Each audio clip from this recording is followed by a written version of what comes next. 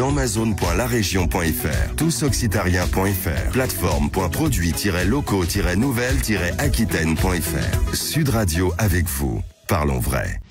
Le grand matin Sud Radio 7h10h, Patrick Roger, Cécile de Ménibus.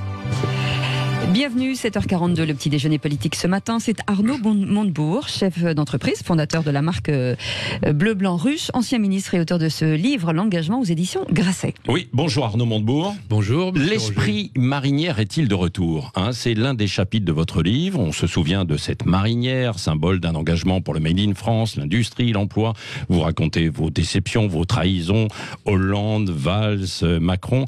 Avant de revenir en détail sur les leçons que vous avez retenues peut-être, pour votre nouvel engagement, euh, peut-être la bataille de 2022. Un mot sur ce qui se passe aujourd'hui, justement. Macron qui ordonne à Darmanin de reculer sur la loi sécurité, ça vous rappelle ces instants politiques que vous avez vécus, justement Il faut battre en retraite, euh, quel que soit le bien fondé d'une idée ou pas? Bah, il faut déjà écouter la société. Oui. La société, elle a des aspirations.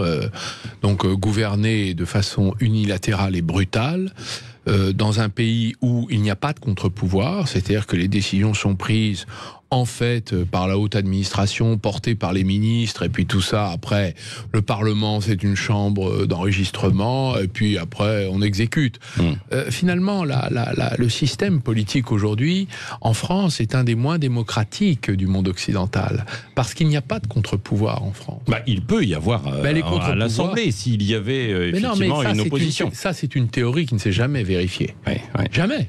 Il y a eu un seul gouvernement qui a été renversé, c'est celui de Georges Pompidou en 1962, sous la Ve République. Bon, après, il y a Donc- eu les cohabitations, mais c'était différent. Non, quoi. mais c'est autre chose. Ouais, ça, ouais, c'est les, chose, électeurs qui ont décidé de mélanger, justement. Donc, il n'y a pas de, de- de contrepoids dans le Parlement. Et donc, euh, le Sénat fait de la résistance et l'a toujours fait. Euh, mais c'est une chambre qui est assez monocolore et conservatrice. Donc, on voit bien que euh, il n'y a pas d'équilibre dans le système. Et il n'y a pas de responsabilité de celui qui prend les décisions de gouvernement, c'est-à-dire le président de la République. Oui, bah, le président de la République, il écoute quand même la rue, puisqu'il demande à Darmanin, après ce qui s'est passé le week-end dernier, de, de reculer, de changer. Mais vous voyez, tout le problème, c'est dans la phrase que vous venez de, prononcer, vous venez de l'identifier, c'est la rue. Hmm. Est-ce qu'on est obligé, dans notre pays, de devoir manifester, d'ailleurs de plus en plus difficilement, euh, d'affronter la police pour pouvoir se faire entendre? C'est absolument incroyable. Normalement, une démocratie, on se met autour de la table, on réfléchit ensemble, on choisit la bonne décision, on construit des compromis entre des gens qui ne sont pas d'accord. C'est ça la vraie démocratie, telle qu'elle fonctionne dans tous les pays européens d'ailleurs. hein. Ouais, ouais. Euh, donc on a des leçons à prendre d'ailleurs, vous voyez, des choses qui marchent mieux dans d'autres pays que le nôtre. Ouais, bon, Darmanin, il a intérêt à revoir son texte, quoi. C'est ce que vous dites Ah aussi, bah, quand de même. toute façon, de toute façon, euh, on, voit bien que ça, ça passe pas. Mmh. Ça passe pas parce que euh, dans la Déclaration des droits de l'homme et du citoyen, il y a euh, la possibilité pour chaque citoyen de demander des comptes à l'administration, à son administration, Ouais. à tout agent public. Ouais. Donc c'est normal. Vous, on demande des comptes à la sécurité sociale, à Pôle Emploi, bah, à la justice, à la police, à tout le monde. C'est normal. Oui. Alors revenons sur votre livre, L'engagement. Vous étiez un peu en avance finalement auparavant sur les débats qui ont surgi avec le- la crise du Covid, réindustrialisation, souveraineté, relocalisation, le rôle de la technocratie, de l'administration énarchique. Est-ce que c'est ce qui vous pousse un petit peu à revenir dans l'arène politique aujourd'hui? Ben, en tout cas, à tirer les leçons des erreurs du passé pour qu'elles servent au futur. Parce que euh, on ne peut pas euh, aujourd'hui considérer que les Français puissent être puissent être entendus dans le système actuel. Moi, c'est ma position. Et c'est l'expérience euh, très difficile du pouvoir qui me fait dire cela. C'est-à-dire aujourd'hui, euh, euh, quelqu'un qui dirait, qui viendrait sur les sur les, les plateaux de télévision, d- entrerait dans l'arène Ouais. politique et dirait on va changer, ça va changer demain, ça changera pas si on ne touche pas les conditions dans lesquelles on a organisé le pouvoir. Alors c'est quoi les conditions? C'est Bah, justement c'est une- Bercy comme vous l'avez connu, c'est cette euh, C'est la technocratie surpuissante qui a pris le pouvoir dans notre pays. La technocratie, c'est pas que la Mm. haute administration. Non. C'est le personnel politique qui en est issu. Mm. C'est tous les patrons des grandes boîtes publiques et privées qui en sont issus, des banques, Mm. des assurances, à peu près. C'est-à-dire une espèce de monde, un cercle invisible qui a pris le pouvoir dans notre pays et qui, d'une certaine manière, l'administre à sa guise et selon ses vues. Et entre nous soit dit, il y a quand même un certain nombre de choses qui posent problème. La façon dont on a vendu en pièces détachées euh, euh, Alstom, Technip, euh, Lafarge, euh, Alcatel et combien d'autres abandonnés de cette manière, c'est est le produit de cette pensée assez mondialisatrice euh, qui est celle de la classe dirigeante qui de notre pays et qui est euh, finalement endogamique Oui. entre soi et qui tient le pays. Voilà. Et C'est ça, ce que vous- c'est un énorme problème. Et c'est ce que je décris dans la machinerie Bah du oui, oui. pouvoir. Mais comment, comment- ça Est-ce fonctionne que, alors, est-ce que, et les avec le leçons qu'il convient d'en tirer. Euh, avec le recul, est-ce qu'il y a des, des solutions, des suggestions que vous pourriez faire justement pour essayer de, de supprimer ça ou de gommer un petit peu tout ça? Ah ben, d'abord, je pense qu'il y a un plan, s'il y a un plan social à faire, c'est le plan social au sommet de l'État. Ah ça, c'est le seul plan social. Productif et constructif. C'est-à-dire qu'en vérité, euh, à la tête des hautes administrations, il faudrait mettre des universitaires, des petits patrons, euh, des syndicalistes, euh, des gens qui connaissent la société et qui euh, ne souhaitent pas la régimenter, mais Oui. qui souhaitent en quelque sorte la stimuler, l'aider. Oui, mais Vous voyez, il y a- la, la vérité, c'est que Ouais. nous sommes dirigés par des administrateurs. Qu'est-ce Ouais. qu'un administrateur Ouais. C'est celui qui administre la vie des autres. Donc, il la régimente, des lois, des circulaires, des... ça n'arrête pas. Et en revanche, on aurait besoin, par exemple, d'ingénieurs. Un ingénieur, qu'est-ce que c'est dans une entreprise? Il y en a 500 000 en France.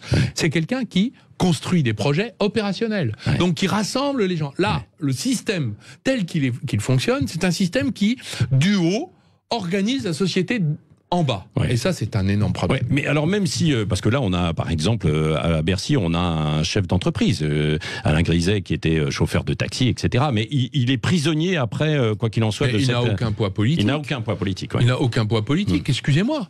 Moi, j'étais ministre de l'économie. J'ai, vous, je raconte comment il est très difficile de se faire accepter par l'administration, et parce que l'administration, elle est là. Les ministres passent et elle décide. Donc, pour la commander, prendre le commandement de l'administration, qui est le rôle constitutionnel du ministre, il est le chef de l'administration. Mais c'est une, mais c'est une œuvre c'est la façon de euh, fonctionner. très très matinale. Il faut se lever tôt et se coucher tard. Ouais, Voilà. C'est la façon de fonctionner d'Emmanuel Macron, justement, qui lui est issu de cette euh, énarchie, Ah euh, bah, non, mais technocratie. Emmanuel Macron, c'est le produit pur, c'est l'inspecteur général des finances, donc c'est le produit de la haute administration, comme François Hollande était magistrat à la Cour des comptes, issu de la haute administration, comme l'a été euh, d'ailleurs Jacques Chirac, comme l'a été euh, son prédécesseur Valéry Giscard d'Estaing, et, et combien d'autres À part le général de Gaulle, Mm. François Mitterrand et Nicolas Sarkozy, il n'y a pas d'exemple.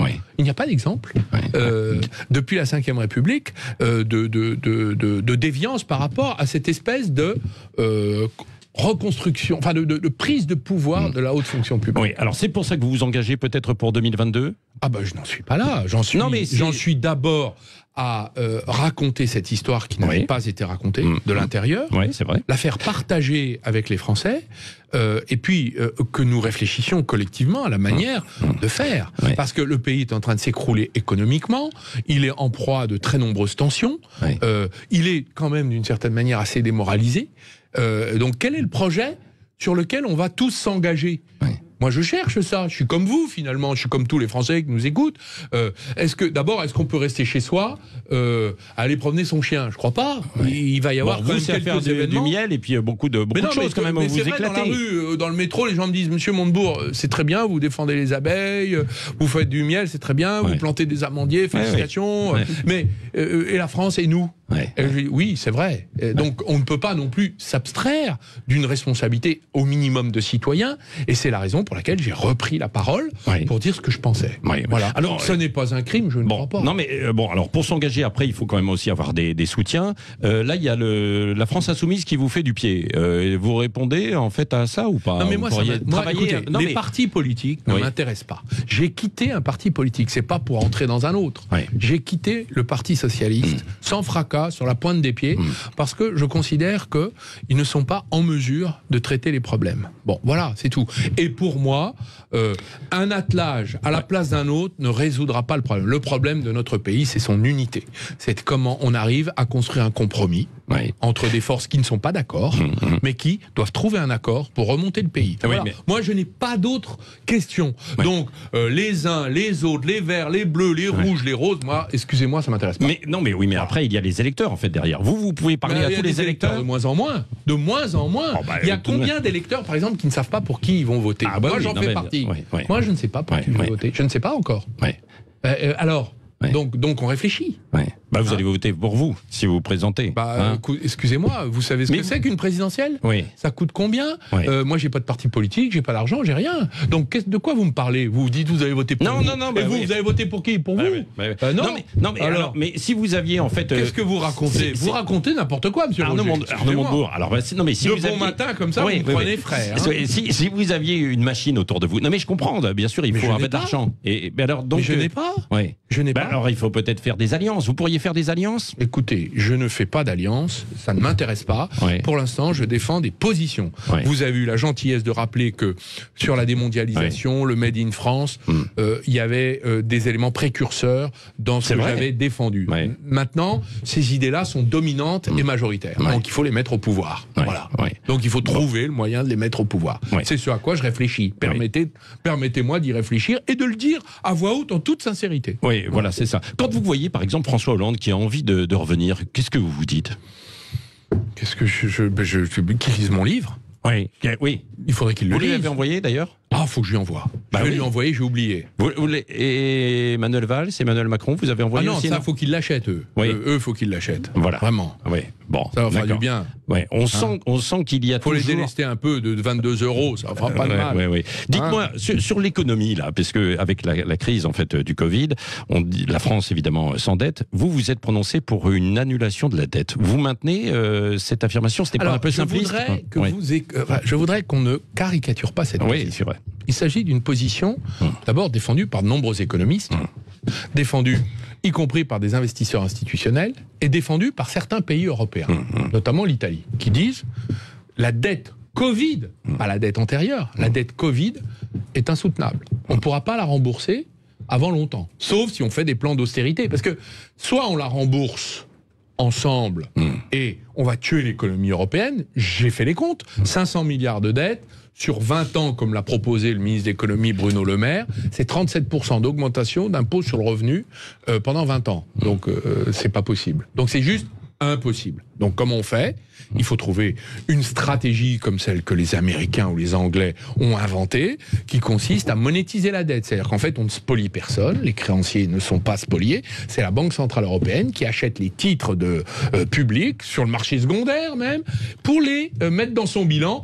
Et la Banque des règlements internationaux, qui n'est rien d'autre que la Banque Centrale des banques centrales, a préconisé Oui. euh, l'annulation dans euh, le bilan des banques centrales d'un certain nombre d'éléments d'endettement. Dans le monde entier, cette question va se poser. Cette pandémie nous a coûté, Nous nous a coûté les bras et les jambes. Oui, oui, Et, et- et on va continuer oui. Donc cette question, il faut la poser de façon concertée vis-à-vis avec tous les pays européens et Ouais. le faire avec la Banque centrale européenne. Ouais. Mais ne pas, mais ne surtout pas en faire un sujet tabou, parce que le sujet qui n'est pas tabou, c'est les augmentations d'impôts. Oui, qui oui, vont oui. derrière. Qui- On va les, on va les prélever sur qui les 500 milliards de dettes Oui, oui. Sur qui on les prend Les entreprises, on va les tuer. Ouais. Les ménages, on va les tuer. Ouais. Alors qu'est-ce qui va rester Ouais, ouais, Non ouais. mais cette question, elle est quand même Non, sérieuse. non, mais ouais, bien sûr. Qu'est-ce que euh, quand euh, certains disent euh, Arnaud Montebourg là, il fait du populisme en fait aujourd'hui. Qu'est-ce que vous répondez en fait aussi à cela?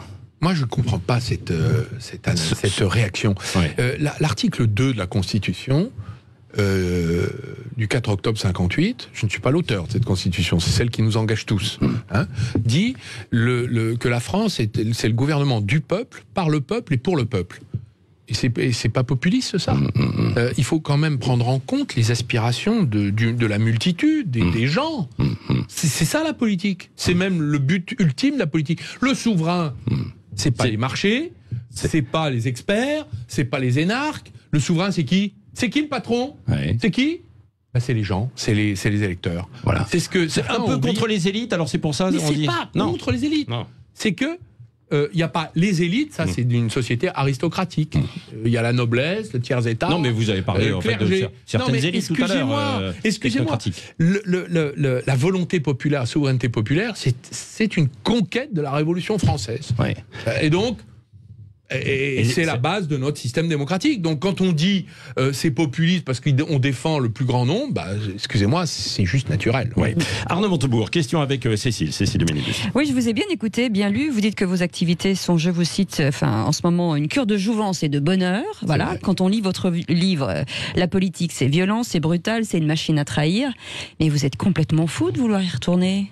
Bah écoutez, là je n'y retourne pas. Je, Ouais, je enfin, en suis en train de- de, oui, de- je suis juste en train penser, de me préoccuper euh, du sort de mon pays. Ouais. Euh, D'abord parce que la France ne m'a jamais quitté, Mhm. c'est normal, et y compris dans les entreprises équitables que j'ai fondées, euh, qui a une vision, euh, j'allais dire écologique, mais aussi équitable. C'est-à-dire on partage la valeur avec l'agriculteur, le producteur, l'apiculteur autant que possible. C'est une sorte de société d'entraide entre le consommateur et le producteur. hein. C'est ce modèle économique alimentaire équitable. Et, et donc, euh, euh, je, moi, tous les jours, je me dis, euh, on, on pourrait changer encore plus grandement les choses en, utilisant la politique euh, au soutien d'un certain nombre de mutations importantes dans Oui, l'économie. mais si pas les présidentielles, pourquoi pas les régionales Par exemple, Bah, Bourgogne-Franche-Comté. Mais parce que moi j'ai déjà j'ai déjà fait tout ça. Hmm J'ai déjà fait tout ça. J'ai déjà été président Ah, c'est vrai que président, vous n'avez jamais fait. De la Certes, République. oui, c'est vrai. Enfin, Ouais. bon, c'est- c'est c'est aussi une tâche difficile. Hmm. Et euh, Non, je disais président de la République, vous Ah, d'accord, d'accord.